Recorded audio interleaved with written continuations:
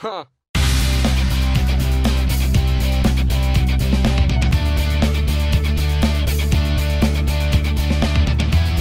What's up YouTube, this is Kevin Goly from Nation Techno and in this kind of video I want to bring you another kind of Android applications review.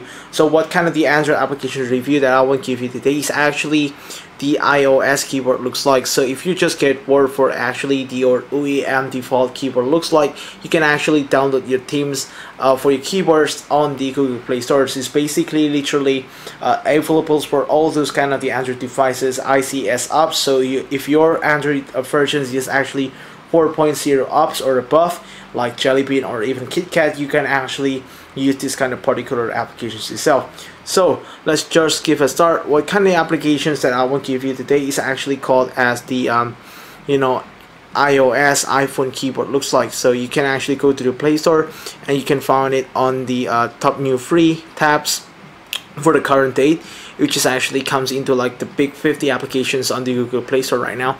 It's actually called iOS, I mean iPhone 5s keyboard iOS 7. So if you just uh, make closer look, there you go.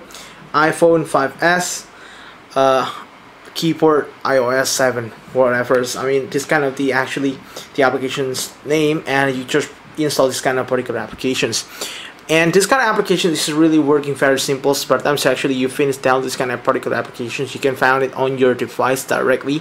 iPhone 5s, which is like here just actually the application itself. So what you need to do is actually the first step is to enable the keyboard. So it's just like uh, you know these steps where you're gonna actually going to enable and you let your phone recognize that there's like another kind of themes for your keyboard and you just uh, just press that and go back and after you go back what you need to do is actually the second step is actually select default keyboard so in this kind of the very steps actually the really important thing where you will select what is your actually uh, default keyboard paradigms actually you use for typing. Make sure that you choose the iPhone 5s keyboard iOS 7.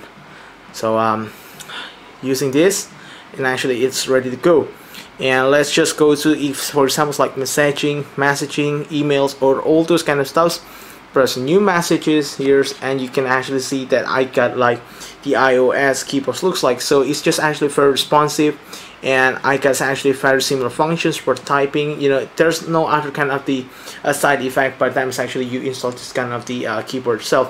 This kind of the keyboard is just really helpful for you guys as actually get really bored with the OEM default looks like keyboard and just like the alternatives that you can download and actually use for your daily basis.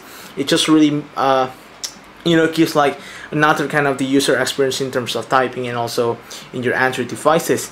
So yeah pretty much that guys. What kind of what kind of application that I will give you review today. And yeah thank you guys for watching. Make sure that you subscribe to my channels and also hit the like button. It really means a lot to me. And I'll see you all in the next video. Peace